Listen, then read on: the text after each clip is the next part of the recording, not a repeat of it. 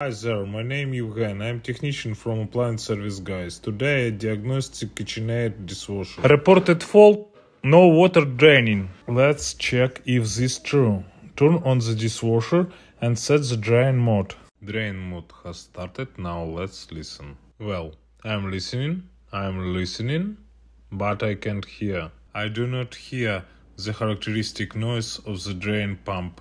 The KitchenAid dishwasher really can't drain the water. There is water in place, there is no drainage. I'm starting the diagnostic process. Spoiler, drain pump blocked. To find the cause of the problem, I removed the KitchenAid dishwasher from the furniture and begin a visual inspection of the drain system.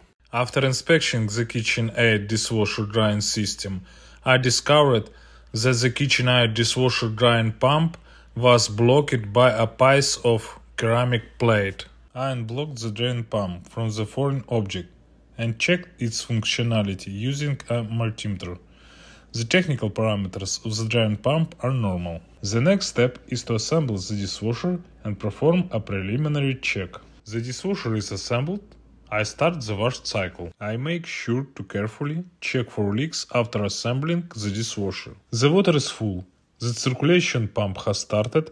The wash cycle has begun. In order not to wait long, I open dishwasher door and reset the select program. The dishwasher should always drain the water when resetting the program. I listen and hear the characteristic sounds of a running drain pump. Judging by the sound, the water has drained, so I open it and check. Yes, successful. KitchenAid dishwasher repair complete. Now can wash the dishes. Subscribe to the channel to see more home appliance repairs in Winnipeg City.